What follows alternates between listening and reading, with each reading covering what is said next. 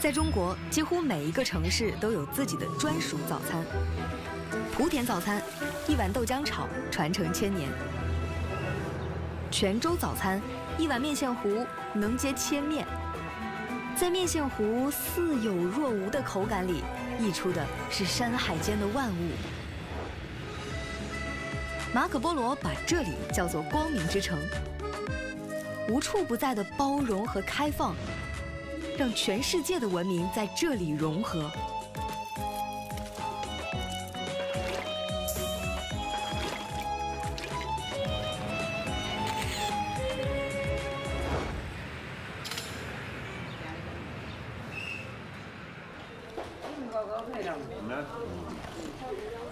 嗯嗯，韦大姐啊，猪肝一绝，谢谢。嗯，这个太香了。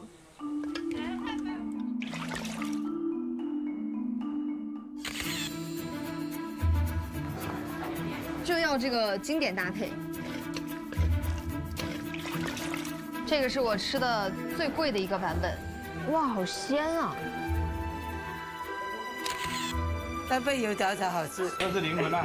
灵魂，老板，我想来根灵魂。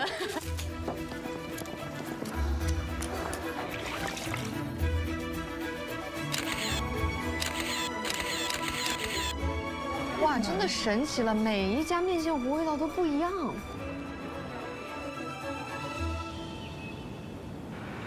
三分天注定，七分靠打拼，爱拼啊才会赢。您吃早饭了吗？吃了。您早上吃了什么呀？吃了牛肉羹。若用美食来回答泉州的接纳，面线糊答以山海共生，牛肉羹便应以中西荟萃，两方文化以赤诚之心在此交融。而番薯粉在其中的必不可缺，是牛肉羹滑嫩筋道的秘诀，更是泉州城自古而来的接纳。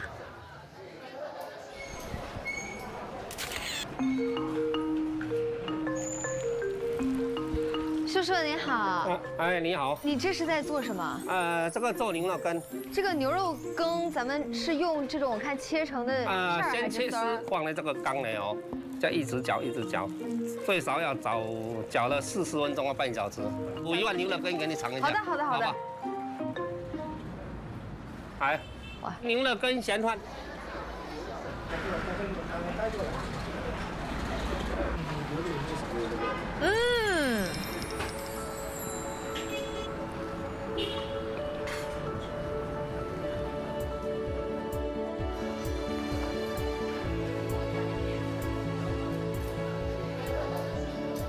叔叔，哎，我想打包一份给朋友带过去吃。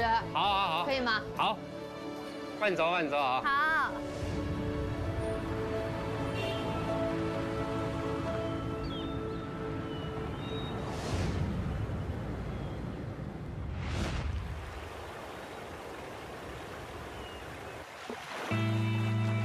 有人在桥上等待，一如一千年前那些来自世界各地。走在桥上的人，他们唱着那时传唱的歌，行囊里是香料、瓷器、异国的卷册和书信。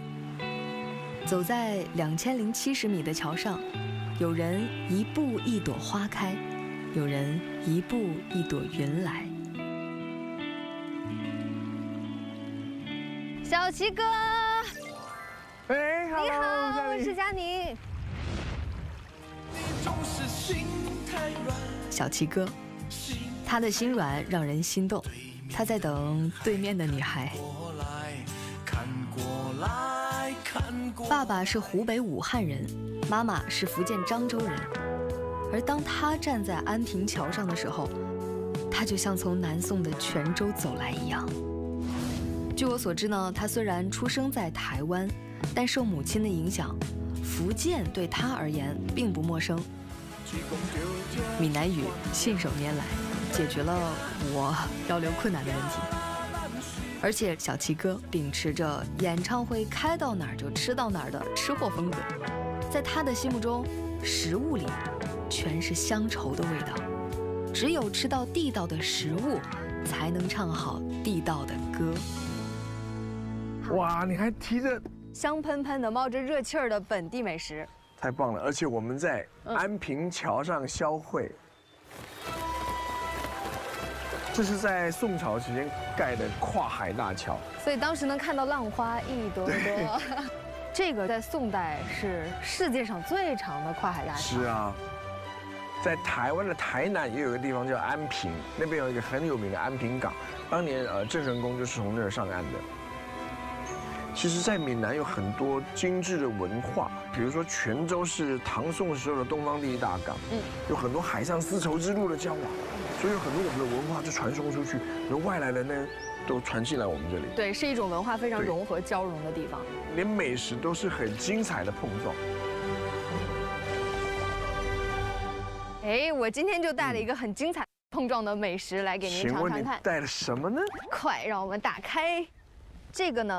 普通话叫做面线糊，哦，对，大家叫面线。叫米刷狗，米刷狗。我小时候常吃的，就是这个。因为台湾很多先辈都是从闽南过去的，所以我们在语言啊、信仰啊，还有很多习惯啊、饮食啊，反正就是流着相同的血，喝着相同的水，水，带着相同的记忆，也爱着相同的味道。来，您尝尝。哦天哪，你看，里面的料。肥肠啊，排骨。本地人告诉我，这个不叫油条，这个叫做灵魂。哦，就是必须要配着吃，不然呢就没有灵魂。这个呢就是牛肉羹。哦，这也是非常有名的哦。嗯，这种感觉好像异乡游子离开家了很久，突然间吃到家乡味道，哎，那种莫名其妙的就从。内心涌上来一种幸福以及一种温暖。嗯，家乡的味道就是一下子唤起你最幸福的这些记忆。